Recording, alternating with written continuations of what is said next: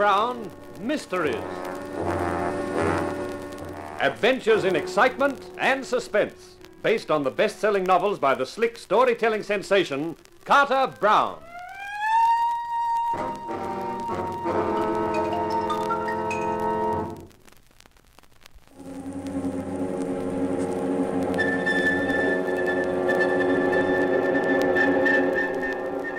Felt an ice-tipped finger hit the base of your spine and slide all the way out to the back of your skull?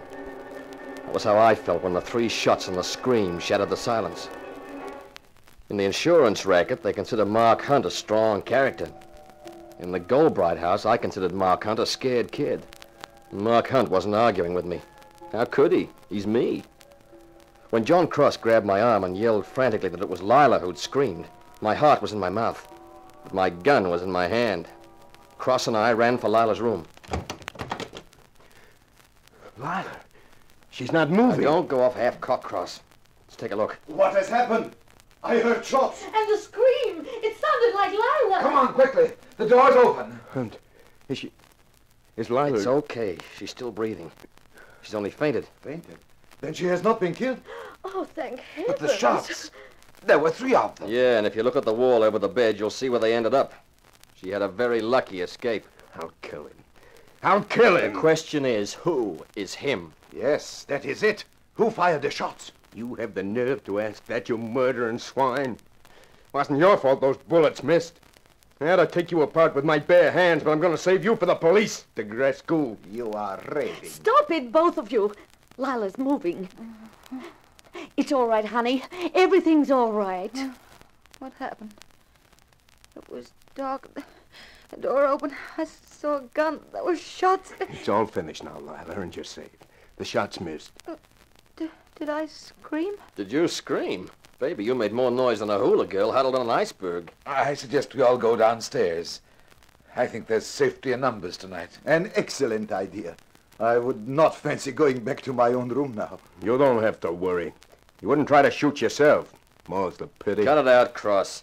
Let's get downstairs, as Beavis says. Can you manage, Lila, honey? Yes, of course I can, John. I'll be all right now. Okay. Hey, you and Cross go first, Lila. Then Beavis and DeGrescu. I'll bring up the rear with Mavis. Hang on to my arm, Lila, darling. Thank you, John. I am glad to be behind Mr. Cross. With his crazy notions, I would rather not be in front of him. Well, it's no use looking to me for protection. I've never been the physical type. You can say that again, kid. Never mind your disappointments, Mavis. Listen to me. What, Mark? When we get downstairs, anything I say about the photograph, you back me up. Why? What are you going to do? Set a little snare for the killer, that's all.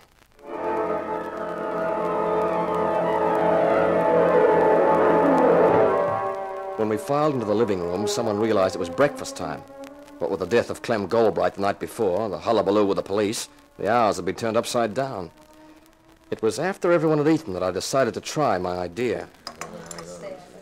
Ladies and gentlemen, I've got something to say. This situation can't go on any longer. I had intended keeping quiet until the police return sometime tomorrow morning. Well, That's impossible now. What are you talking about, Hunt? Keep quiet about what? Simply this. The identity of the murderer. You know, You know who it is? Yes, I know who the murderer is. Who?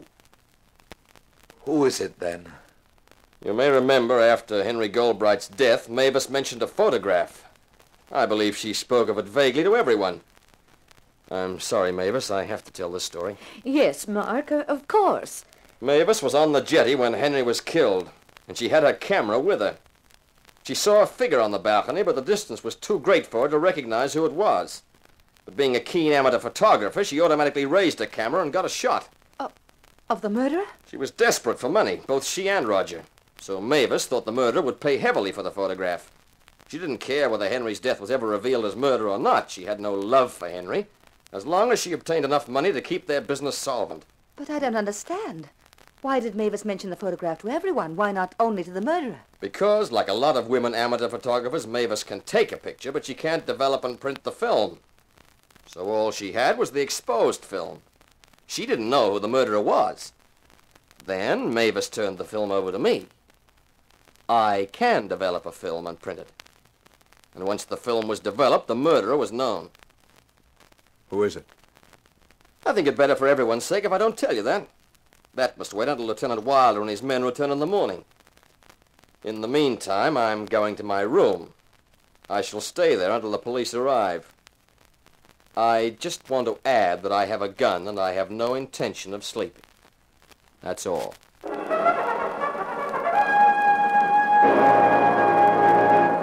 And that was it.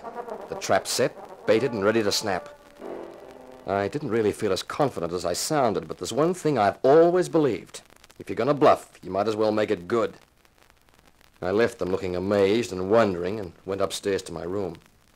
I checked my 32. This was no time to have a gun that was empty or was likely to jam. And then I settled down for the long wait. Long wait it turned out to be. All through the rest of that day, I sat in my room and lit one cigarette after another and gazed at the view from my window. The sky changed from pearl to smoky to leaden gray. The water rippled and splashed and tumbled under the wind until darkness fell and I couldn't see anymore. I opened the window. Somewhere there was a faint glimmer of moon. That and the glow from my cigarette made the only light in my room. I wondered if I'd die from nicotine poisoning before I had a chance to find out who the murderer was. The strain was stinging at my nerves. Against the sound of the wind, I heard the murmur of voices as the occupants of World's End went to their rooms to bed. All except one of them, I thought. And he or she would be waiting, as I was, till the house was completely still.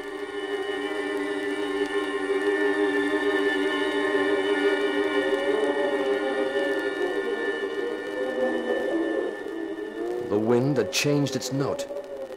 I looked at my watch in the darkness. Its luminous hands pointed to 1.30 a.m. My eyes felt as though two-pound lead weights were hanging from their lids. I'd had no sleep for about 36 hours, and it was as much as I could do to keep them open. And then, from behind me, from the window which I'd left open, I heard a small sound. Someone was coming in. Don't try anything foolish, like grabbing for your gun. Pull the trigger before you can hope to get it. Okay, The film, the negative, where is it? this is uh, strictly for laughs. It doesn't exist. Don't stall. Where is it? I told you it never existed. Sure, Mavis was there and she had a camera, but she never took the picture. You're lying. It was a bait and you swallowed it. If it doesn't exist, then that's all I want to know. That puts me right in the clear. Dispense with you and no one can pin it on me. You certainly put on a good act. A dumb college boy who never grew up. Grief and outrage when poor Lila was nearly killed. Only you never intended to hit her with those bullets, did you, Cross? You just wanted to make it look as black as possible for DeGrescu. Of course. Rather clever of me, I thought. I'll marry Lila. Get all the dough I want. And neither you nor anyone else is going to stop me, Hunt. Maybe. No maybe about it. That fool Beavis girl had me worried. Those notes we exchanged, I thought you really had got a photo. I would have paid for it, too, but where was I going to get the money from? That's why I ignored her last note. I hoped her greed would keep her mouth shut. I thought she knew who I was and had realized that I'd have to wait to get the money. That will of Henry's must have upset your calculations a little. When you realized Lila wasn't getting all the money. Keep your voice down. Yeah, it threw me for a while. Then I realized that once I got rid of Clem, the whole estate would be Lila's. So it didn't matter very much. You don't think you'll get away with it, do you? But I will. There's nothing surer. Yeah, I'm afraid we'll have to terminate this conversation. If you've any prayers, Hunt, say them now. Eternity is forever. What the, what's that? Uh, the ghost of Henry Goldbright. There's one thing about ghost voices. Their timing's terrific. It's a trick and you won't get away with it. There's one advantage about sitting in a room all day. You get to know it so well that it doesn't matter when it gets dark. I'll get you. Yeah, that was your one chance. Too bad you missed. The window.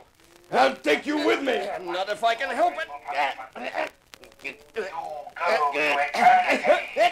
right.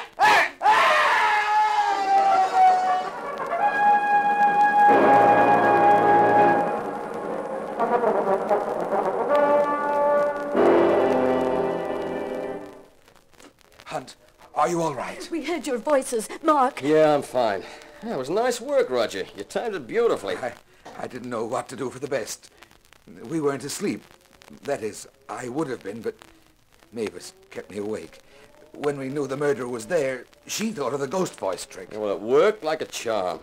In fact, I hate to think where I'd be without it. In eternity, probably. Oh, I don't know what I'm laughing for. And believe me, I wasn't laughing at the time.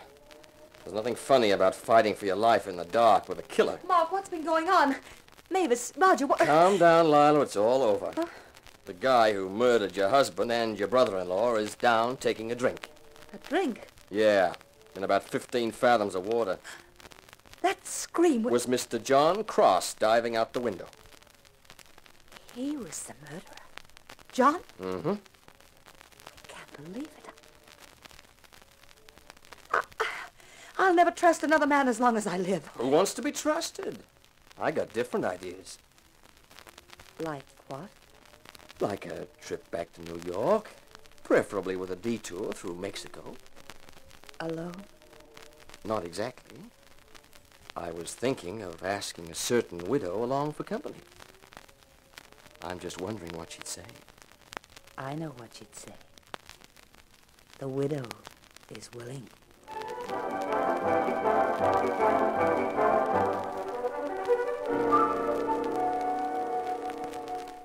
This is Carter Brown. I guess being an insurance investigator has its compensations. For Mark Hunt, anyway. And what a compensation. A beautiful blonde, and with money. There's a blonde in my next book, too, a story called Meet a Body, but it's not the blondes. It belongs to a little guy named Jacob Finney, and the character who meets it is my hero, Sebastian Shaw, a private detective. So this is Carter Brown saying so long for now. Be seeing you.